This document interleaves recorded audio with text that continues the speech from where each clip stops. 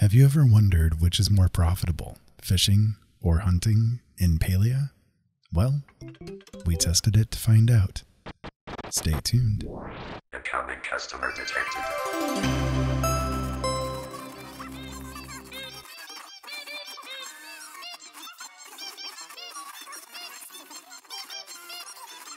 Keep your eyes open, boys. We need to have a serious talk. Palia, the life sim that sucks you in. I've been keeping myself busy exploring the world of Palia and what it has to offer. Between relationship building, resource gathering, and spending time with my wife and friends in game, I've experienced quite a few things, most of them enjoyable. However, I am also a gamer who likes to dig into things and figure them out. This is especially true when it comes to taking apart the systems that generate an income in games. Fallout 76, for instance, is a game I've spent almost 4,000 hours in, and I've discovered so many ways of making credits efficiently that all my characters are what would be considered rich. EVE Online, multi billionaire there. Star Wars Galaxies, more money than I can waste in a good cantina. Whatever game I do, I like to take a screwdriver to it and understand how to make it work. So far in Palia, I've generated over half of a million coins. So, with that in mind, I thought it'd be fun to do a little experiment in Palia with all of you. Now, there are a lot of guides out there which try to claim this thing or that is the best way of making coins in Palia. Fishing? Sure. Hunting? Well, everyone claims that it's S tier. Cooking? Uh, heck, with a good party of people making cakes, you could be rolling in more coins than you're allowed to hold. The coin cap in the game is 300,000, by the way. So today, we're going to see which of fishing and hunting is the best for making money when compared directly hour to hour. Here's what I decided might be the fairest comparison method. First, I'll put together whatever equipment is needed. For fishing, that's going to be glowworms and a few different types of foods that can help with your fishing activity.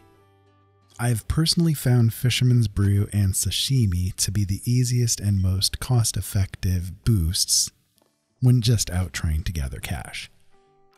If you're looking for bigger catches, such as trying to consistently get rare and epic fish, you're probably going to want to go for one of the better accessories. But for practical money making purposes, the basic stuff's going to do just fine. So my kitty Starry and I headed off to Bahari Bay to find a good fishing hole to dig into.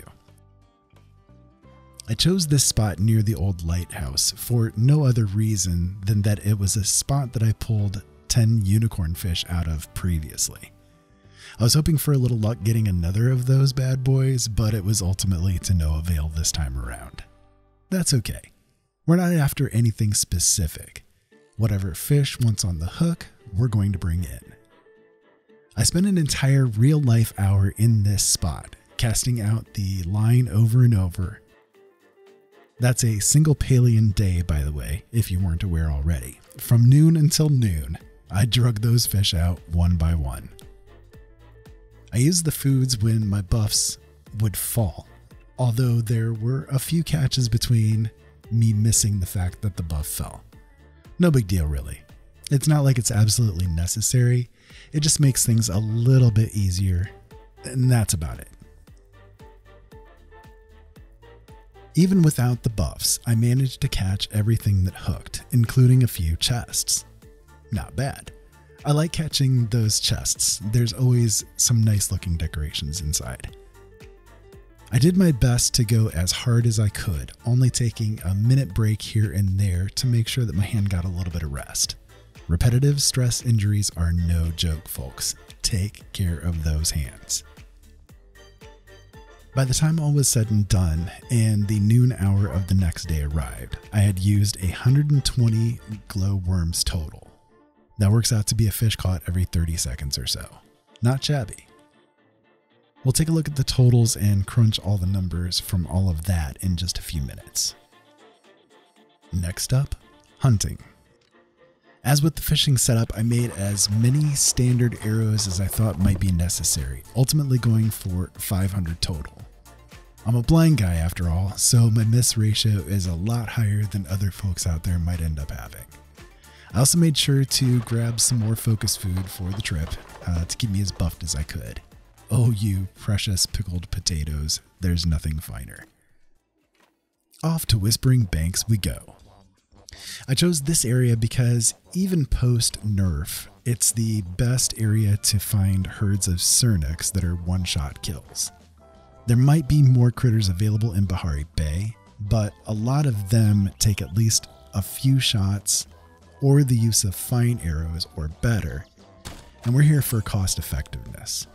The one issue with hunting when compared to fishing is that you will unfortunately have to deal with competition.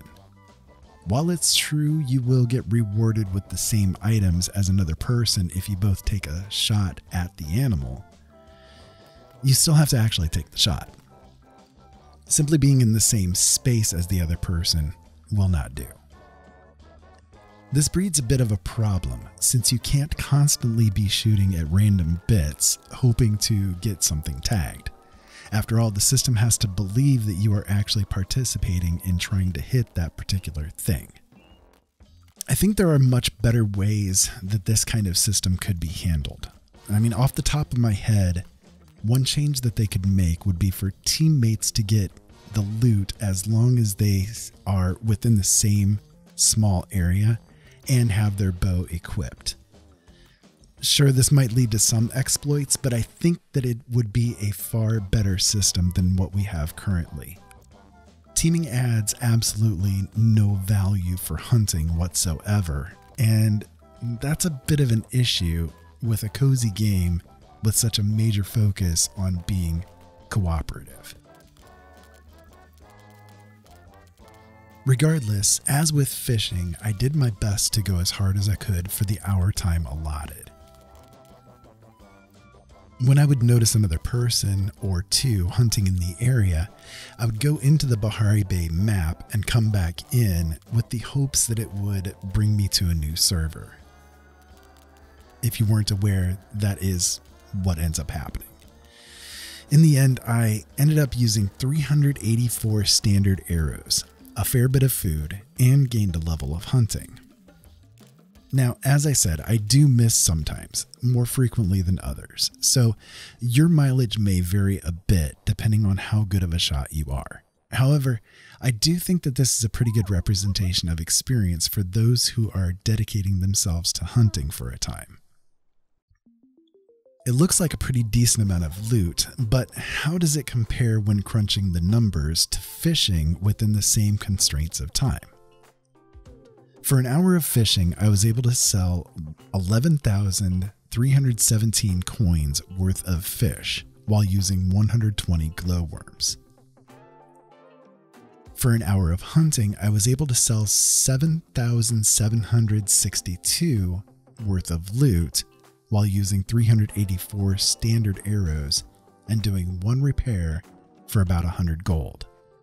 Total repair costs by the time everything ended worked out to be about 150 gold. When I ran the same test previously, I ended up with 9,291 coins. Wasn't quite as lucky with the spawns this time, I guess. Now, on the surface, it seems like fishing would give you the best bang for the buck, right? But let's break things down a little bit further. After all, you have to consider the outlay of costs for the pure profit aspects. Glowworms are valued at 25 coins each. That's an important number to consider. That's a lot of coins for one worm. However, you can make your own worms in the glowworm farms, reducing the cost significantly depending on the food that you use. I like to use sashimi because you get, for high value fish, three pieces of food that will give three glowworms each. That's nine glowworms total. The cost of sashimi when using a fish with an 85 coin value and adding in the price of spices at 15 coins and rice at 27 coins works out to be 127 coins total. That's 42 coins for each single sashimi created. However, if you're gathering the spices yourself and fishing up the fishies yourself using a glowworm that you've farmed yourself, your costs will break down to be more along the lines of 9 coins each. So let's run with that number in the figures.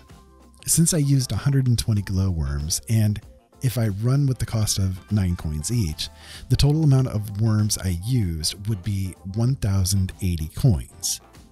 I sold 11,317 coins worth of fish. I also paid 52 coins to repair the rod once everything was done. That brings my pure profit of that one hour of fishing to 10,185 coins. Even if we go with the idea of you purchasing the glowworms in some kind of way, those 120 glowworms would run you about 3,000 coins. That would still make the total profit of the hour of fishing 8,317. But for my purposes, it's that 10,185 number. Hunting garnered 7,762 coins. Standard arrows have a value of 2 coins each, and I ended up using 384. And the repair costs for the bow worked out to be 150 coins. When taking the costs out of the loot, we ended up with a total profit of 6,844. Again, your own personal mileage on this result may vary, depending on how good of a shot you are and the RNG aspects of the spawn rates, as well as whatever competition is in the area. On paper, it would seem fishing is far more of a valuable endeavor than hunting, right? Well, there are a couple of things to consider with it. First, you have a little bit more of an initial outlay to get started with this kind of fishing. You need to have a steady supply of foodstuffs to get the glowworms going, and then you also have to wait for a while before those worms really start coming in. With how I have things set up on my property, I can get up to 720 glowworms a day, but I have a lot of time to play and I can feed those babies like crazy. That's 10 glowworm farms being fed sashimi with the highest value fish going into the recipe. That nets me 3 glowworms per machine per hour 24 7. That's quite a bit of sashimi making, which can be really tedious and time consuming. Not to mention having a lot of fish I catch going into it instead of just being sold for profit. It also means finding the sashimi recipe as well, which isn't necessarily easy to do. I've tested all of this out multiple times, and in each case, fishing actually won out over hunting in regards to how much per hour came in. However, and this is a very big however, fishing is extremely tedious. The reason you do end up with as much as you do is because you're constantly throwing the bait out, one after the other, in an endless cycle of the same damn thing. Over and over again, you cast out, bring it in, and cast out.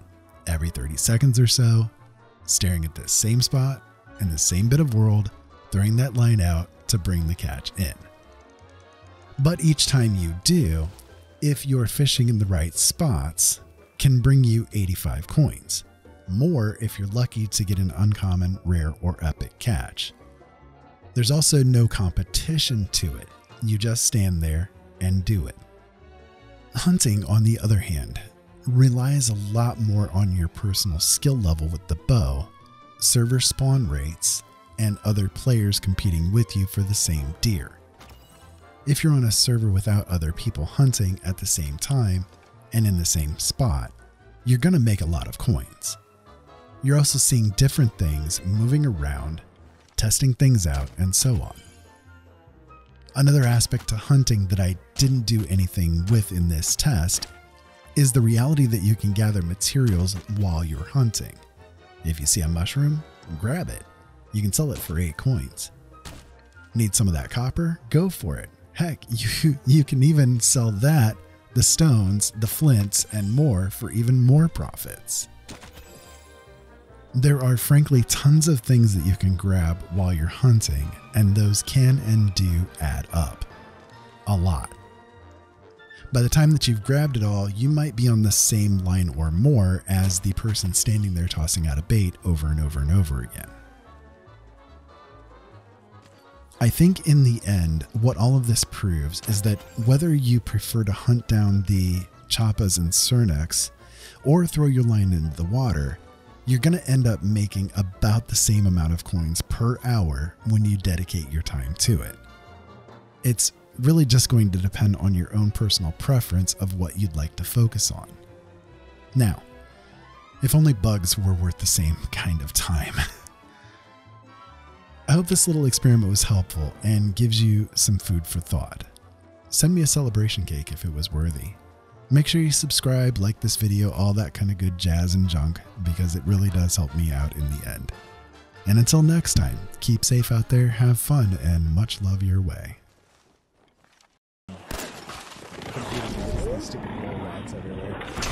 Hello, Rose.